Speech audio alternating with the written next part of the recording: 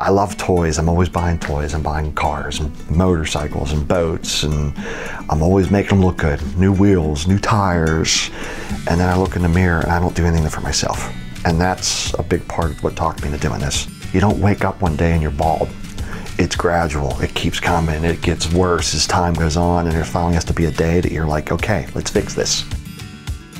The ARTAS was able to harvest where my hair's real thick and bushy and put it in to fill in the, uh, the thinning areas so that my entire head of hair will look full instead of thick on the sides with a little bit growing to cover the forehead. Uh, it, it, worked out fantastic and even just in three weeks I'm seeing the results of how it's gonna how it's gonna look at the end term. I'm, I'm very anxious to see what it looks like in a year. So very happy with with doing this. My only regrets is I should have done it years ago when I started balding.